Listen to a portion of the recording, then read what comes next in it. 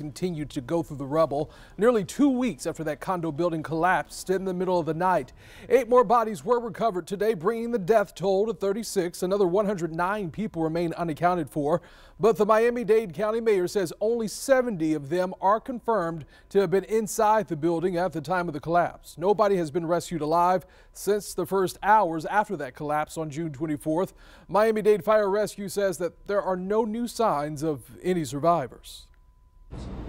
Every single life that has been lost is a beloved family friend, a best friend, someone's child or parent or niece or cousin or grandparent, and we know that waiting for news is unbearable. And you just heard from the mayor there, and she said that six of those killed have not yet been identified. And we're going to be back right after a quick break with the very latest on the approaching impacts from Elsa.